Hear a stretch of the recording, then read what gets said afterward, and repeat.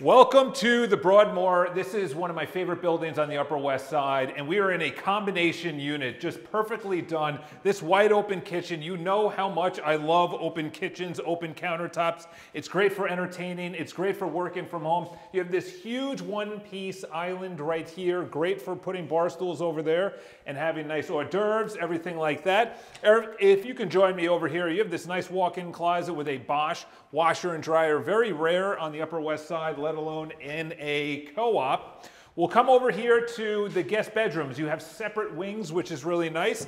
Nice closet over here. Each bedroom is gigantic. You can easily fit a king, queen size bed. You're facing south throughout this entire property tour. You're gonna be having light streaming in. I might not even show up, but each bathroom actually has their own full, or I'm sorry, each bedroom has their own full bathroom, which is great.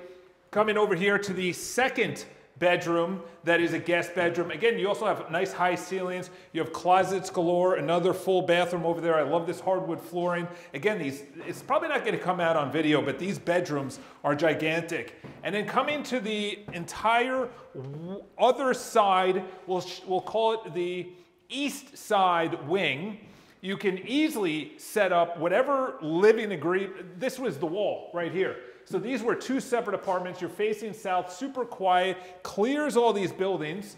And you can have your dining table here, your living space there. You have a beautiful renovated full bathroom right there that connects from the primary, which this could be a studio in the East Village right here, which is great. And you have a nice walk-in closet if you want to grab a nice photo of that, which is great because it's built out. You can obviously add whatever you would like.